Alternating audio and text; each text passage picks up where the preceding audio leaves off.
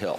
But, Mr. Speaker, if he's serious, then the Prime Minister needs to do something. And with less than a week until the G20 sum- summit, this Prime Minister continues to abandon Canadians by failing to ask for a meeting with the Chinese President. Canadians suffer in Chinese prisons. The farmers are facing high financial harm, while tens of thousands protest in the streets of Hong Kong and in the cities across Canada over dystopian Chinese extradition law. Will the Prime Minister finally decide to meet with the Chinese President? Why is he showing such weakness in the face of China? Right Honourable Prime Minister.